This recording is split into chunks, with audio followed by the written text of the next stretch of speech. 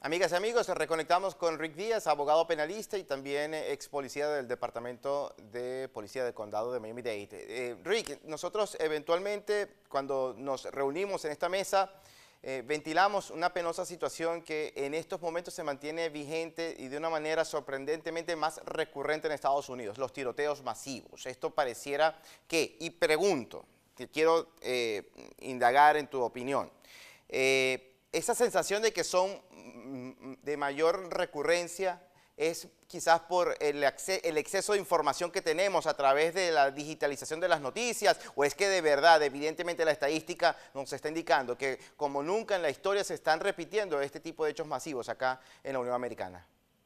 Bueno, mira, por ejemplo, vamos a empezar desde el raíz del problema.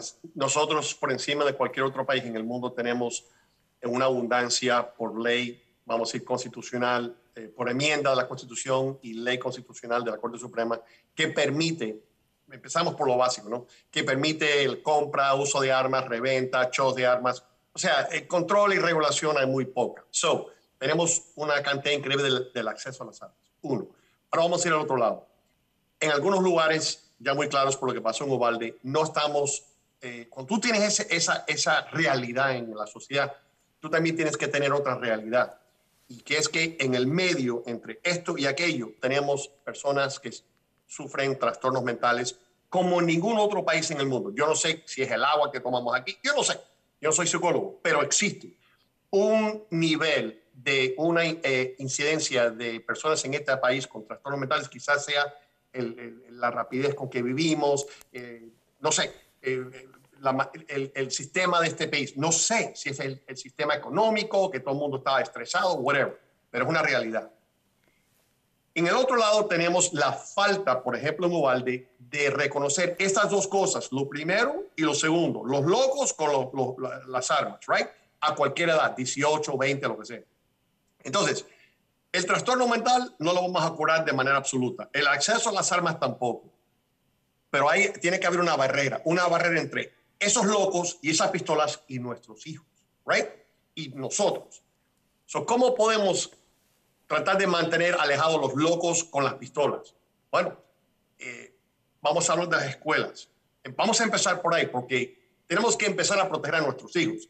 Acuérdate, en las épocas viejas y hoy en día se va a naufragar un barco, entonces ¿qué dicen? Women and children first. Mujeres y niños primero. Los hombres tienen que ser héroes, el capitán se va con el barco, por decir así, right?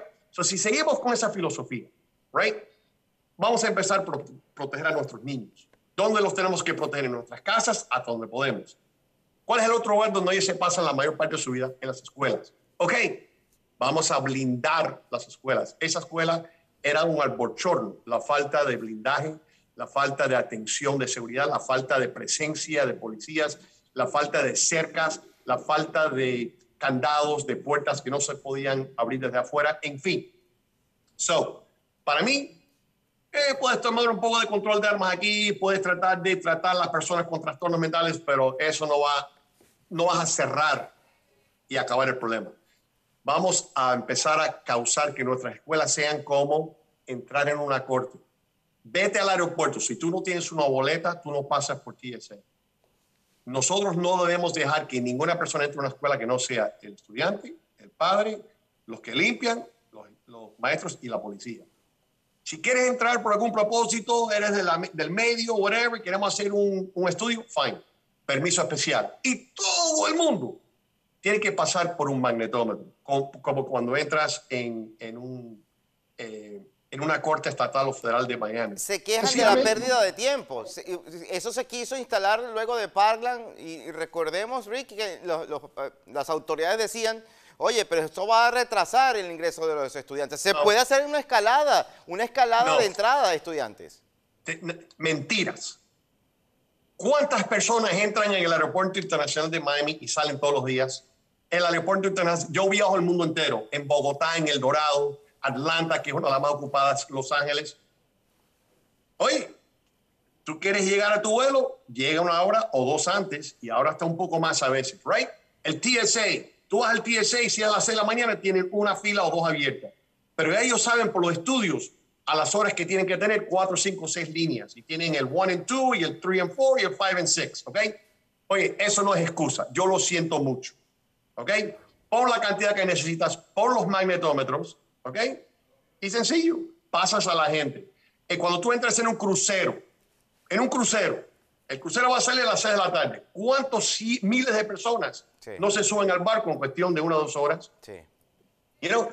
Ok, so, ¿cuál es la excusa? Vamos a peligrar la vida de nuestros hijos porque no queremos que nuestros hijos tengan que esperar 15 minutos para pasar por un magnetómetro. Totalmente de acuerdo contigo, Rick. Totalmente de acuerdo. días a la semana. Así es. Nueve, nueve, meses en el año. Así es. De hecho, se pasa mucho tiempo esperando a lo mejor eh, para ingresar a la vía principal por el congestionamiento vehicular. Eso es harina de otro costal. Rick, Muchísimas gracias. Gracias por esta oportunidad de ventilar la importancia de reforzar la seguridad en las escuelas. Mucha confianza depositamos en estos recintos y es necesario mantenerlos cuidados. Un gran abrazo a la distancia. Hasta la próxima. Era Rick Díaz. Eh, Rick Díaz es abogado penalista. Estaba conectado con nosotros por la vía digital. Hemos llegado al final del programa en el día de hoy. Amigas y amigos, le invitamos a que estén conectados con la señal de EBTV. Hasta la próxima. Este programa fue presentado por... Metro by T-Mobile y su tienda en Doral.